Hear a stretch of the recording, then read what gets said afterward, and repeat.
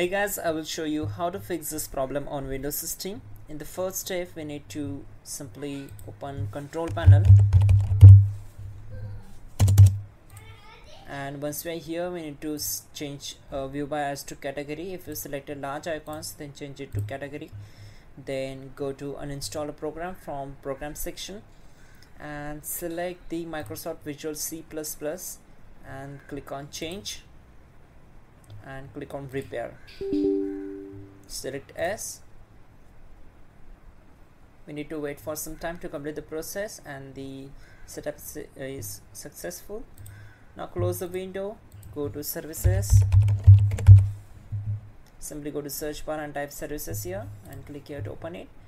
Once we're here we need to find out the windows x installer. So just keep scrolling down and you will get the windows installer. Right click on it select properties. We need to set startup type as automatic and click on start. So it's running already running. So you need to start the service and click on apply and then ok.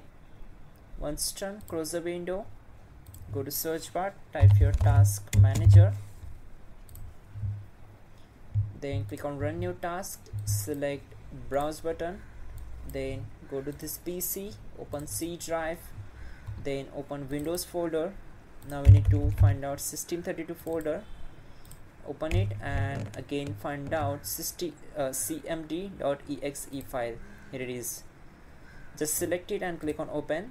Now check this box. This is very important. This will create this task with administrative privileges and click on ok. Again we need to close all the background windows and we need to focus on the screen. Now type here sfc space slash before this command we need to type in gp update. Okay and hit enter. So this command will take few seconds to complete the process. We need to wait for it and the computer policy update has completed successfully. Now type in sfc space slash scan now. Hit enter.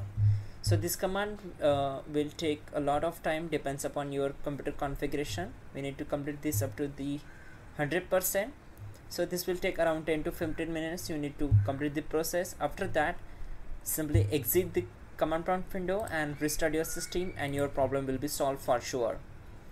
You can also check out our description link to fix this issue quickly and effectively. And yeah don't forget to like the video. Please do subscribe the channel